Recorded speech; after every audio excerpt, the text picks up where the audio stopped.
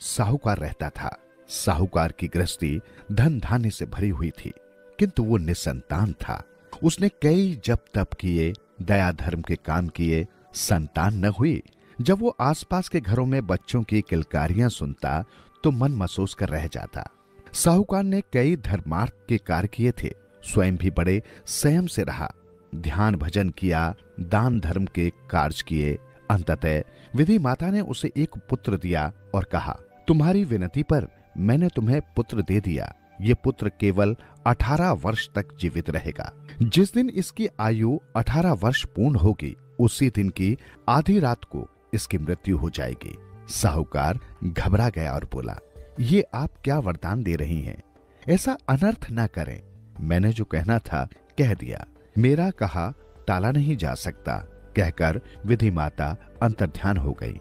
साहूकार ने ये बात पत्नी को बताई। पत्नी ने इतने में ही संतुष्टि ज़ाहिर की कि कम से कम 18 वर्ष तक तो पुत्र उसके साथ रहेगा।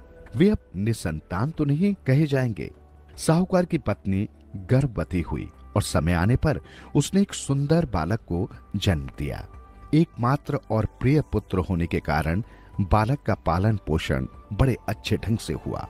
अठारह वर्ष तक होते होते वो भरा पूरा युवक दिखने लगा। साहूकारिन को उसके विवाह की चिंता सताने लगी। साहूकार विवाह की बात टालता रहा।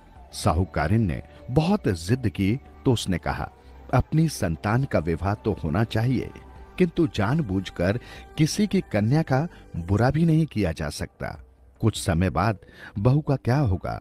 साहूकार की किसी बात को साहूकारिन ने नहीं माना। अंततः उसने बेटे का विवाह एक अच्छे घर की सुंदर और सुशील कन्या से कर दिया।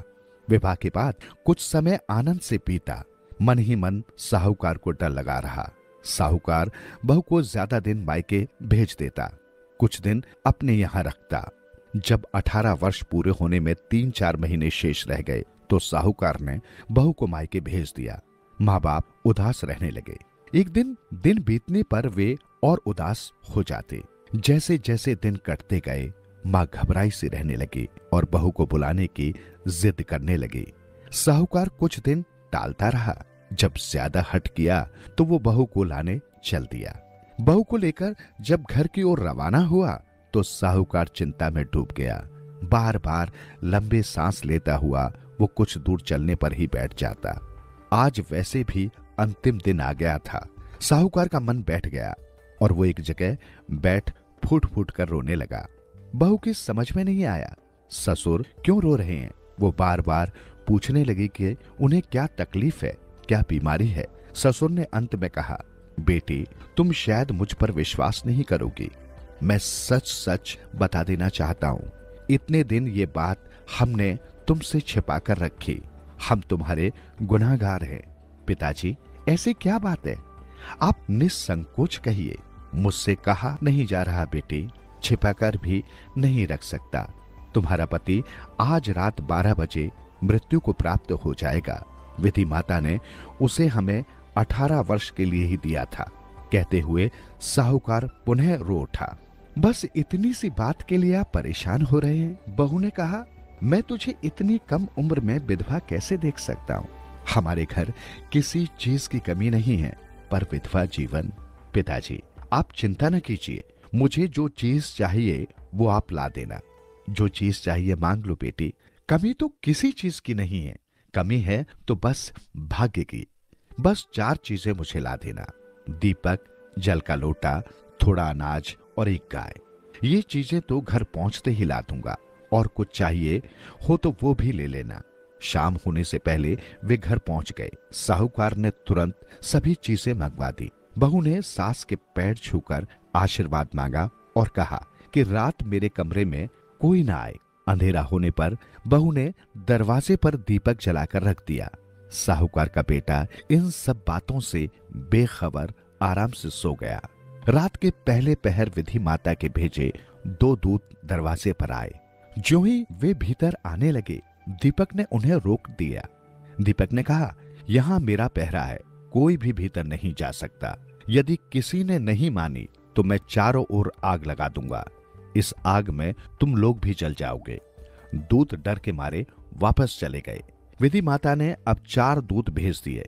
अब बहू ने दरवाजे में जल से भरा लोटा रख दिया। जो ही चार दूत भीतर आने लगे, जल ने उन्हें रोक लिया। यदि किसी ने भी भीतर जाने की हिम्मत की तो मैं एकदम छिप जाऊँगा और सभी लोग प्यास से मर जाएँगे, जल ने कहा। चारों दूत वापस गए। अब बहू ने दरवाजे में अनाज रख दिया। विधि माता ने अब आठ दूत भेजे। अनाज ने उन्हें भीतर नहीं आने दिया। उनके वापस जाने पर विधि माता ने सोलह दूत भेजे। बहू ने अब दरवाजे में गाय खड़ी कर दी। गाय ने उन सभी को भगा दिया। इस तरह रात्रि के चारों पहर बीत गए। जब सभी दूत वापस आ गए तो विधि माता के क्रोध का ठिकाना न रहा। उसने दूतों को खूब डांट फटकार सुनाई और स्वयं उठकर साहूकार के घर पहुँची। दहलीज लांग जैसे ही विधि माता भीतर आई, बहू ने झुककर उसके पैर छू लिए। विधि माता के मुँह से निकला, सौभाग्यवती रहो। बहू ने कहा, आप मेरे पति को ले जा सकती हैं, किंतु मुझे अभी अभी आपने सुहागिन रहने का आशीर्वाद दिया है। इसके बिना मैं सुहागिन कैसे रहूँगी? विधि माता को अब पता चला कि उससे क्या भूल हुई है। साथ ही वो बहू की कुशलता पर प्रसन्न भी हुई। विधि माता ने आशीर्वाद दिया। तुम सदा सुहागिन रहोगी। ये कहकर विधि माता अंतर्ध्यान हो गई। साहूकार तथा उसकी पत्नी ने जब सुबह